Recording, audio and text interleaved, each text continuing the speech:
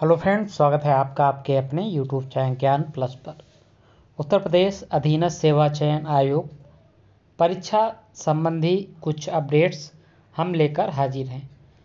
काफ़ी सवाल उठ रहे थे जेई परीक्षा से संबंधित कि अब ईडब्ल्यूएस का मैटर सॉल्व हो चुका है, यानी कि ये तय हो गया है कि दोनों भर्तियों, यानी कि जेई 2016 और 2018 दोनों में ईडब्ल्यूएस का मैटर ईडब्ल्यूएस लगेगा। तो अब सबसे बड़ा सवाल अभ्यर्थियों के मन में है कि परीक्षाएँ कब तक होंगी। इसका हम आपको जवाब देंगे। सलेबस कब तक जारी होगा ईडब्ल्यूएस मैटर? इन दोनों से संबंधित हम अपडेट आपको देंगे।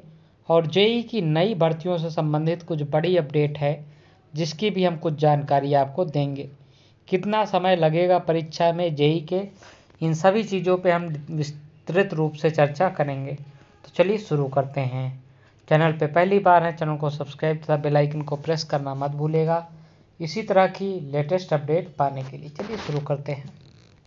चच्चू पब्लिकेशन आप सभी के लिए लाया है पीईटी स्पेशल बुक जिसमें पीईटी का संपूर्ण सिलेबस कवर किया गया है और 2200 ऑब्जेक्टिव प्रश्न भी दिए गए हैं। प्रत्येक टॉपिक को विस्तृत रूप में कवर किया गया है। उसके बाद प्रत्येक टॉपिक के बाद उस टॉपिक से रिलेटेड वन लाइनर प्रश्न भी दिए हुए हैं।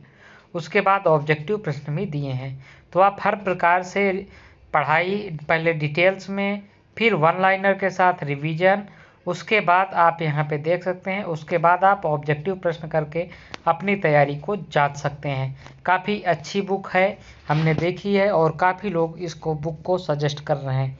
तो डिस्क्रिप्शन बॉक्स पे लिंक है, आप जाके ऑनलाइन या अपने नज़दीकी रिटेलर से मिलके ये बुक को परचेज कर सकते हैं। चलिए आगे बढ़ते हैं।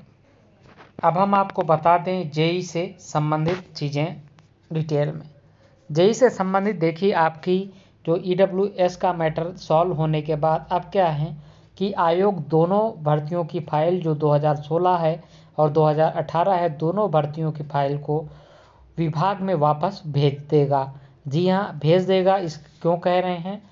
क्योंकि जो ईडब्ल्यूएस या कि कोई भी आरक्षण का मुद्दा, वो विभाग का काम होता है, आयोग का काम नहीं होता है। आयोग को विभाग जैसे विज्ञापन सौंपेगा, जिन पोस्ट पे जितनी भर्ती करने को कहेगा, वो कर देगा, उससे मतलब नहीं रहेगा।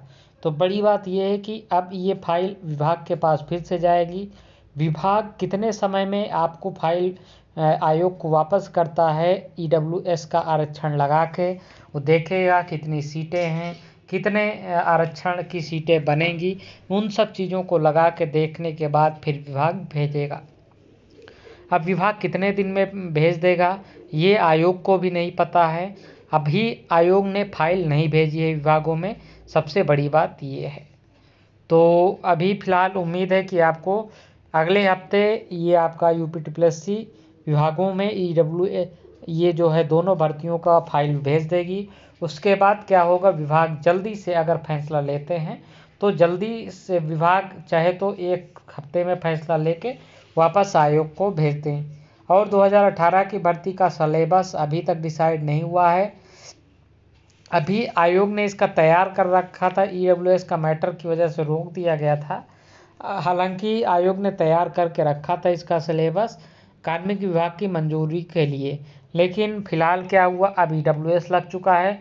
तो पहले फिर से जब फ़ाइल आएगी, उसके बाद आयोग जो है कार्मिक विभाग में सिलेबस से संबंधित जो है अनुमति कार्मिक विभाग को भेजेगा। तो ये है, ये दोनों है। तो कुल मिला के आप मान लीजिए कि अगर विभाग तेज़ी से काम करता है है, अपनी सर्वोच्च स्तर की तेज़ी दिखाता है तो तो भी आपकी परीक्षा होने में कम से कम अगस्त स्टार्टिंग लग जाएँगे। क्योंकि अभी विभाग को फ़ाइल भेजेगा, फिर विभाग उस पर आरक्षण पे फैसला लेगा, उसके बाद फिर आयोग को फ़ाइल भेजेगा। फिर आयोग जो है सिलेबस के लिए कार्मिक विभाग भेजेगा, कार्मिक विभाग उस पर मंजूरी लेगा, उसके बाद फिर आयोग को भेजेगा। उसके बाद आयोग सिलेबस जारी करेगा, परीक्षा तिथि की घोषणा करेगा। इन सभी प्रक्रिया में कम से कम आपको वो तीन महीने का समय लगेगा। तो ये बता दें हम कि जेई की दोनों परीक्षाएँ 2016 और 18 किसी भी हालत में अगस्त के पहले नहीं हो पाएँगी। जो लोग आपको बता रहे हैं कि परीक्षा जून में होगी, जुलाई में होगी, वो सब आपको गुमराह कर रहे हैं। किसी भी हालत में नॉट एनी कॉस्ट अगर बहुत तेज़ी दिखाई गई तो जुलाई लास्ट में आपका पेपर हो सकता है। हालाँकि इसकी संभावना बहुत कम है। अगस्त के पहले आपका पेपर नहीं हो जाए हो पाएगा। इस चीज़ को आप जान लीजिए। तो तैयारी आप उसी हिसाब से करिए। और एक बड़ी अपडेट ये है कि जेई की कई सारी भर्तियों के अध्याचन यूपी टिप्लेसी को प्राप्त हो चुके हैं। इन भर्तियों की संख्या सिर्फ़ जूनियर इंजीनियर की बात कर रहा हूँ। छः हज़ार से अधिक पदों का अध्याचन यूपी टिप्लेसी को मिल चुका है, जिसकी हम आपको सेपरेट वीडियो में आपको सूचना दे देंगे। कि किन विभाग से कितना जेई के पदों का अध्याचन मिला है? है तो ये आपके लिए अपडेट रही है परीक्षा से संबंधित। अभी आपको इंतज़ार करना पड़ेगा। अभी आपकी परीक्षा जेई की नहीं होने वाली है। तो फ़िलहाल आप सभी को है ई e का मैटर। अब देखिए, समस्या ये है कि अब आयोग कैसे जब फॉर्म भरा लिया है बिना ई e के तो कौन ई e में जाएगा, कौन नहीं जाएगा? अभी ये आयोग को भी फैसला लेना होगा, क्योंकि यहाँ पे देखिए समस्या ये है कि फॉर्म भराने के बाद जब किसी ने ईडब्ल्यूएस में दावा ही नहीं किया तो वो कैसे करेंगे? तो सारी चीज़ें हैं। अब देखिए कैसे होगा, ये तो वक्त ही बताएगा, आयोग क्या फैसला लेता है। लेकिन फ़िलहाल आपकी परीक्षा अभी नहीं होने जा रही तीन महीने।